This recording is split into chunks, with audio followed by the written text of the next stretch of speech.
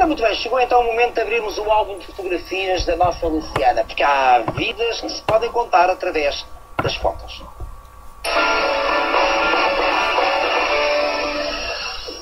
Tu tens as fotografias bem organizadas? Eu acho que, que não, não é?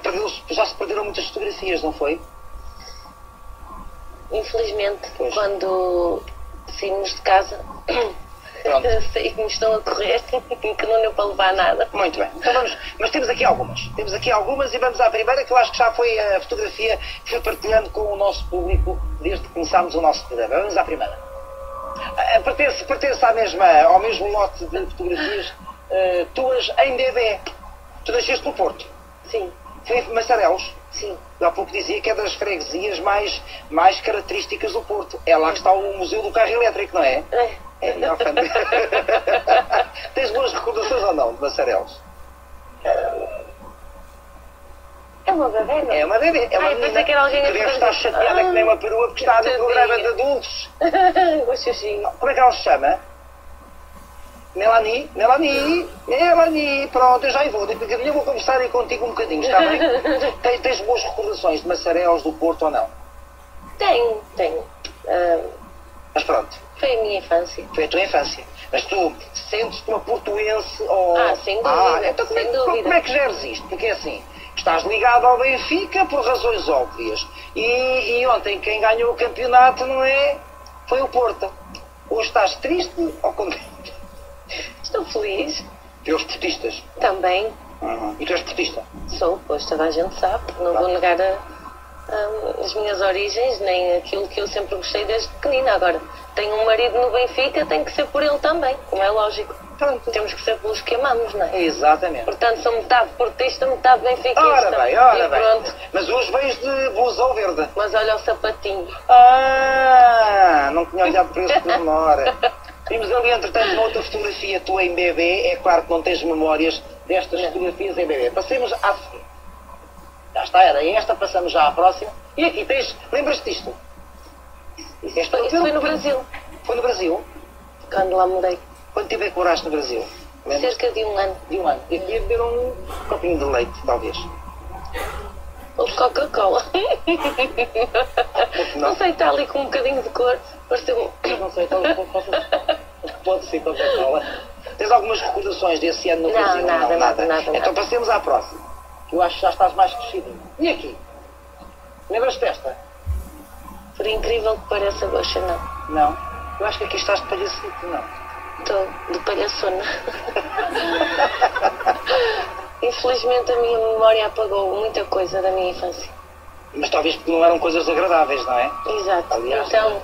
sabes, que, sabes que eu por acaso também tenho, eu também tenho esse, hum, não sei se é um condão que é apagar da memória as coisas menos agradáveis. Portanto, ficamos só com as que, valham a pena, não é? E da infância, há memórias que valem a pena?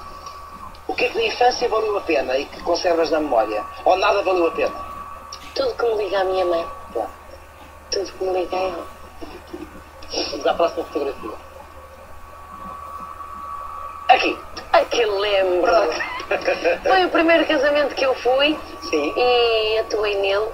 Porque tinha concorrido ao Cantigas da Rua e na altura pediram-me para cantar e eu toda contente, ok. Cantigas da Rua produzido pela Teresa Guilherme. Exato, pela Fada Madrinha. E uh, estava toda contente porque diziam que nos casamentos se come bem, bem, bem, bem, bem. E então eu estava fascinada porque é um casamento comer bem, bem, bem. Estava a cantar, a pensar nos riçóis, nos croquetes, não sei o quê. Até cantaste mais depressa. Mas não e deu. Comeste eu não? Comi, pois.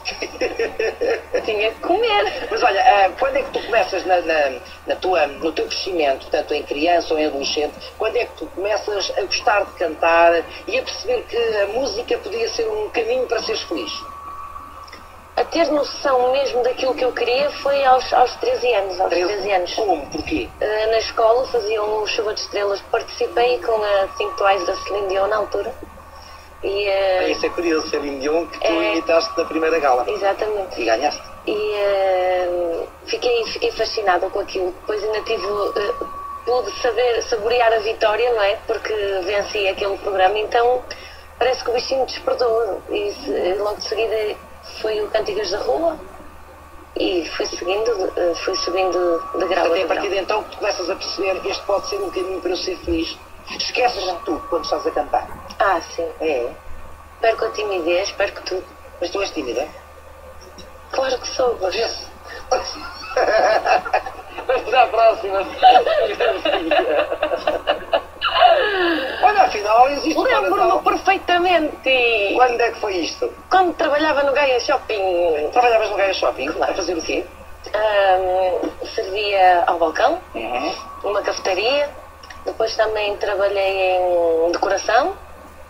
E depois segui para a Rábida Shopping, sempre a subir. Sempre a subir.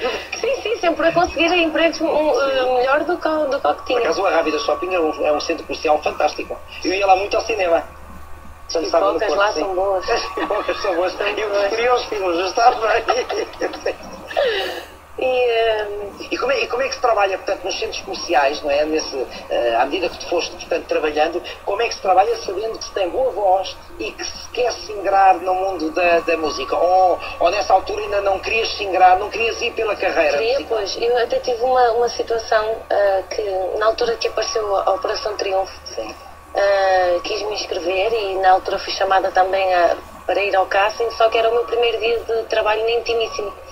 Eu, como precisava muito de trabalhar, não, ah, tive que abdicar. Abdicar da- da e chorei, nesse dia chorei, estava doente. As clientes eram, ah, você está triste? Eu dizia, não, mas estava a chorar por dentro. Estava mesmo triste. Sei valeu a pena esperar mais um bocadinho, não Sim, foi? estava escrito. Estava escrito, também acho. Vamos lá ver a próxima fotografia.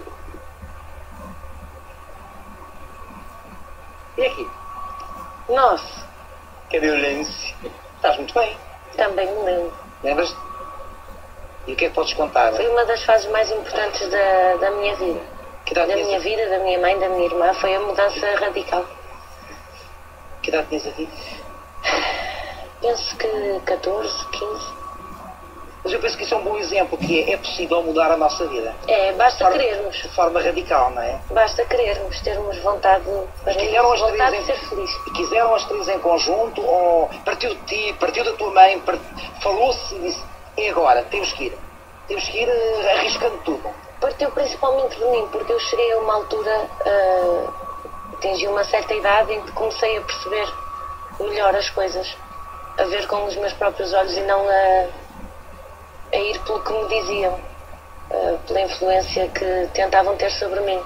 E quando chegou a essa altura, eu disse à minha mãe: ou vens comigo ou nunca mais me vês. E ela veio. E ela veio comigo, ganhou coragem.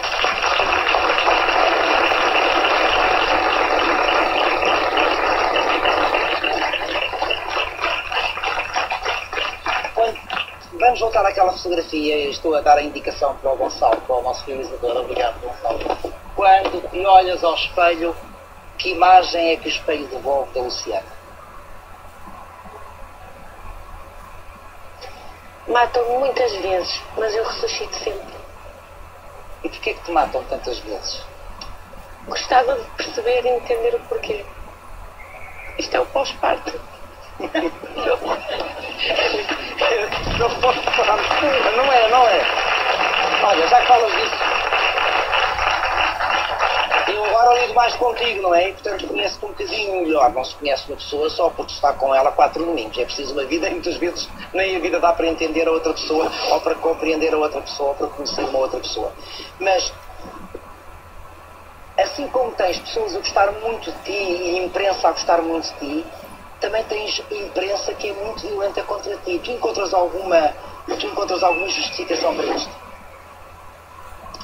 Eu acho que tenho uma certa culpa nisso, porque desde que me tornei figura pública nunca, nunca optei por responder, porque a educação que a minha mãe me deu nunca foi baixar de nível e, e ir bater boca na imprensa e desmentir. Sempre que eu fosse, sempre que eu, que eu tivesse de desmentir alguma coisa, então aí é que eu acho que a revista era só eu. Percebe? Porque dava entrevista e desmentia e andava nisto. E como, como deixei passar sempre, foram calcando, pisando, espezinhando, só que desde que a minha filha nasceu, aliás, eu prometi uma coisa a mim mesmo, que nunca mais ia admitir que denegrissem a minha imagem, que me difamassem a mim e causassem sofrimento E à minha família. processos para defender-se da tua imagem, não é? E já estou neles, já não é de há um mês, nem dois, nem três, Mas mas mesmo assim, vale a pena. E vale a pena continuar neste teu sonho. vale, eu, eu primeiro não me posso dar ao luxo de não trabalhar.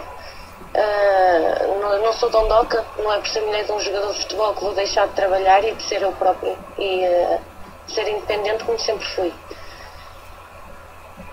Proporciona-se eu fazer aquilo que eu mais amo, Cantar. cantar, cantar, estar na televisão e eh, no dia que isso deixar de se proporcionar, eu vou trabalhar noutra área qualquer, como sempre fiz. Vou à luta. Tenho, ainda agora, ain- ainda por cima tenho duas filhas lindas que dependem de mim. Portanto, trabalhar não é vergonha nenhuma, muito pelo contrário, eu só sou feliz a trabalhar. E ainda bem que isso se proporciona para mim. Muito bem. Vamos à próxima fotografia. Continuamos a não me tratar por tu. Ser que até ao final da eu siga. E aqui? Epá, o trio abriu. Dá cá o meu biolo. Está ali a tua mãe. É a minha mãe, de boné. Vocês parecem três irmãs. Ai, obrigada. Ouviste, mãe? Não sou só eu a dizer. Mas é muito jovem. Vocês vivem juntas. A minha mãe eh, eh, rejuvenesceu desde que a nossa vida mudou. E eh, tenho muito orgulho nela. eh, hoje. Não- todos os filhos têm orgulho nos pais. Não é? Ou na mãe, ou no pai. Há, há pais e pais, não é? Há pais que não são pais. Eu tenho um orgulho especial nela porque, olha, nunca passámos fome graças a ela, nunca vivemos na rua graças a ela, uma trabalhadora compulsiva. Para que nada eh, faltasse aos filhos. para que nada nos faltasse. É por isso que eu tanto faço por ela e a amo tanto. Merece sim. Olha como é que ela tem acompanhado. A tua cara não é estranha. Muito bem, muito feliz. Nós já éramos fã do programa, tu, Sim, sim. tu sabes. Estou a saber. E eh, agora ainda para mais comigo lá, eh, sempre as mensagens, os telefonemas, como, filha, tu não emagreças, vai, canta bem, não sei o quê, já pus uma velinha à Nossa Senhora de Fátima. Mas tu cantas sempre maravilhosamente. Mas é que deve ser muito divertido estar lá em casa com a tua irmã, o Yannick e a tua mãe, tudo a torcer a ti. É rebaldaria. Acho que um vinho destes eu não faço o programa e vou estar a assistir em Olha, é um prazer, é um prazer muito grande. Seria bem divertido. Vamos à próxima fotografia. Aposto que a minha mãe faz logo um bacalhau assado. Isso é mais para a Cristina. Ah, é? Fala em bacalhau, gosto de bacalhau. Olha, cá está a mãe. Como é que ela se chama? Ludovina. Ludovina, beijinhos. Maravilhosa esta fotografia. Como é que é a Ludovina como pessoa? É calminha, Ai, é tão humilde. mas é calma, é... Muito calma, muito. Está sempre na vidinha dela. Ahm, fica revoltadíssima quando nos fazem mal, como é Então, óbvio. claro. A mãe em defesa da cria, não é? Muito, muito amiga, não deixa que nos falte nada, está sempre preocupada connosco, por nada com o filho também que agora tem o Yannick. Tudo. Não sei. Não é por ser minha mãe gosta, mas eh, não, não, não estou a ver o que posso di- de- dizer de defeitos Já, dela. já disseste. Como é que é a tua irmã? É uma maluca. Mais do que tu. Maluca Ela é sentido- muito mais divertida do que eu. A minha irmã é um hermaninho pouco pequeno. A sério, ela é, é fantástica. Tem o dom dela. O ahm, sonho dela também é cantar. é cantar, dançar. Ser irmã de Luciana Abreu é complicado. E ela ficou tristíssima porque na altura que estava na- no, no grupo onde cantava, eh, teve a oportunidade, tiveram um convite para entrar nos Morangos com Açúcar, mas devido à situação, o facto de ter um agente, não, não pôde ir. E então isso foi, eh, não pôde aceitar, isso foi, foi Mas ela também é lutadora a ponto de não ela desistir. muito, muito, ela mesmo sabendo que é minha irmã, ela foi ao, foi ao, ao programa do inimigo, não estou a brincar, como o Luís Jardim disse, não estou a brincar, foi assim com o Ídolos e, eh, e tentou a sorte dela. E tenho muito orgulho nela porque não se encosta a mim, não deixa de seguir os sonhos dela por ter uma irmã famosa, nada. É, é como eu, como a minha mãe sempre gostou de ser independente e faz a vidinha dela e é uma irmã exemplar. Não tem que dizer dela. E aqui? É no estúdio de gravação. Uhum. E Estava a gravar um filme eh, de solidariedade. tu preocupas-te em ser solidária? Muito. Muito. Eh, já doei eh, muito a nível monetário e, e deixei de fazer, comecei a doar em bens. Ah, mas continuo sempre agora, então, no programa que nos proporcionam isso. Aliás, é nós falamos muito pouco dessa componente e eu acho que é talvez a mais interessante, para além do puro divertimento. Eu mais até fui interessante. galar- galardoada. Galar, galado, galardoada. Disse bem. Sabe o que é isto? Isto é não dormir e é preciso do exercício da caneta, como a Dora, a trincar a caneta. Está Como bem, está falar. doada. Está bem dito. É, pois está bem dito, dizer, pois está, mas eu até fiquei na dúvida. componente, mas é muito interessante porque em cada gala o prémio que poderia ser para o cantor ou cantora vencedora reverte a favor de uma instituição escolhida pelo cantor ou pela cantora. Ora bem, portanto, vamos agora passar à próxima hum, fotografia. Oh! Olha, ela já faz o roda você. Pois, porque estamos a falar da. A Luísa da- ensinou-lhe. Da. Da Leoncinha. Exatamente. Aliás, já vemos aqui. Esta fotografia é maravilhosa. Foi tirada onde? Lá ao pé de casa. Aqui à porta. Ah, foi aqui. Foi, no dia que viemos cá. Hum, pois foi, pois foi, estou a ver ali. Média Capital. E agora a próxima? Ou esta é a última? Não, acho que há mais uma. Esta é. Ah! Linda esta fotografia. Quais são as tuas maiores preocupações enquanto mãe? Face às tuas filhas. Tens preocupações? Ai, muitas. Quais são os teus maiores medos? Penso muito no futuro delas. Aliás, tudo o que faço é pensar no futuro delas. Hum, não quero que lhes falte nada. Tento lhes dar a máxima atenção que posso. ah, Ensinar-lhes o máximo de coisas que posso. Hum, aliás, a Leonce é muito desenvolvida. Já sabe 16 animais com 15 meses. Um, um deles a rena, outra girafa, a zebra, o elefante, por aí fora. Já lhe dá no milindre, faz assim. Põe o queixinho assim, começa assim. A dançar o milindre. É maluco. É verdade, é verdade. Que outras habilidades é que faz a tua filha? mexe no iPad como gente grande. Pois isso também o Tiago. O filho da Pois. Cristina. Que é lindo que eu vi, vi ontem, os até cabelos. viu, é verdade, o Tiago ontem foi. hum, há muitas pessoas aqui a questionarem porque é que a Cristina não está no nosso programa. Já disse, já disse logo ao começo do programa desta manhã, a Cristina também não estaria, nem, nem hoje, nem amanhã, não estaria sempre, queria descansar os seus dias. Mas não, está a trabalhar fora do país. Portanto, foi hoje, volta amanhã à noite e quarta-feira estará connosco. Mas eh, o Tiago é maravilhoso, não é? É lindo, Mas acho que o Tiago, já, o Tiago já compra, já compra. Ai, ai é? Ai, isso ela ainda não. Nem convém, senão. Depois a pessoa passa, o iPad da mãe para as mãos do Tiago e o Tiago vai escolher os seus jogos. Tem muita graça. Olha, e como é que estás a, a viver realmente? Já lá vai um mês, já começámos a trabalhar juntos há um mês, ontem foi em quarta gala. Estás, estás divertido na tua cara não é estranha. Muito. Ahm, E tens milhares de portugueses fascinados com o teu talento, uma vez mais. Não lives aos outros. Nós temos é que cuidar de quem gosta de nós. é Os verdade, outros não têm importância alguma, é verdade. não é? É verdade. Estou muito feliz, Gosta. Fiz amigos. Ah, aquilo é uma, uma brincadeira total o dia inteiro, É verdade, passamos o dia a rir. a rir. Ah, é muito bom quando temos o tempo, a hora do almoço, a hora de jantar e nos sentamos todos à mesa e conversamos uns com os outros. É muito bom poder mostrar aquilo que mais gosto de fazer, que é cantar, poder entreter o público, acarinhá-los dessa forma. E ah, E vale a pena. então não vale. Já estás a pensar no próximo desafio? Oi. Outra grande cantora. É verdade. Desta vez vou virar prata. Olha, Mas olha azul, não vou para lentes de contacto desta vez. Eu vejo mal para caraças com aquilo. é, Não se vê nada. não se vê nada. Não. E, mas então, portanto, vais virar a preta, olha, mas eh, tens um modelo lá em casa. Pois eu tenho queda para isso. Está, está mais que dito. Aliás, vai ser muito curioso porque a próxima gala tem muitos cantores negros. Foi o que eu disse. Tem para aí, que em oito tem para aí cinco ou seis, não é? É verdade. Eu disse à Cristina quando ia ontem a sair da- do palco, eu disse, pá, também podíamos ir de preto.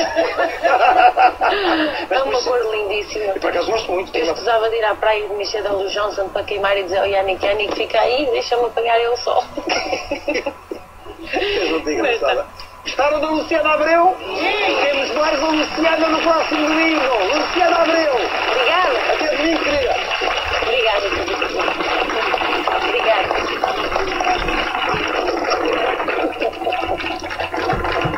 Beijinhos, Luciana. Luciana Abreu. Vai dormir um bocadinho, vai descansar.